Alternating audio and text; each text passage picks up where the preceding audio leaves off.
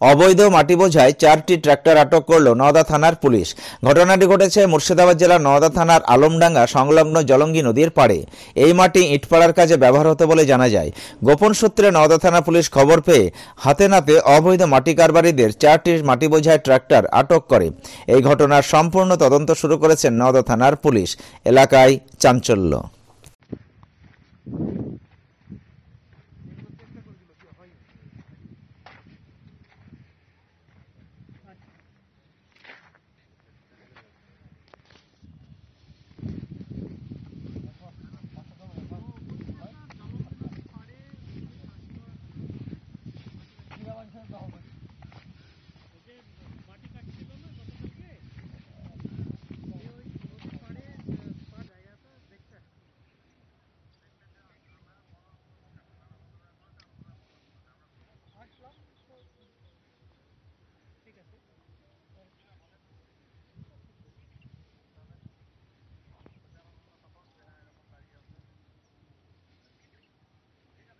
পশ্চিম চর পশ্চিম চর বৃন্দাবনপুর এই গমটা তাই উঠে যাবে দেখা লেবে একদম সব নিচু করে দেবে।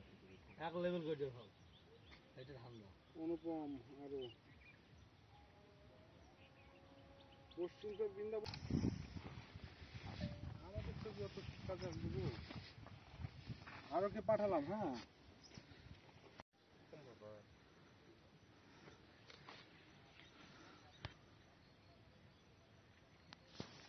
আমাদের কেমন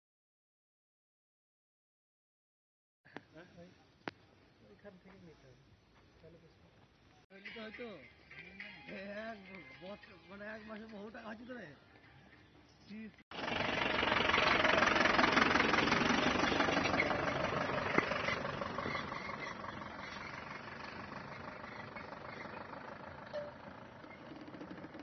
আর্থিক লেনদেনের নির্ভরযোগ্য প্রতিষ্ঠান চাঁদপুর সমবায় কৃষি উন্নয়ন সমিতি লিমিটেড। ঠিকানা চাঁদপুর নওদা মুর্শিদাবাদ।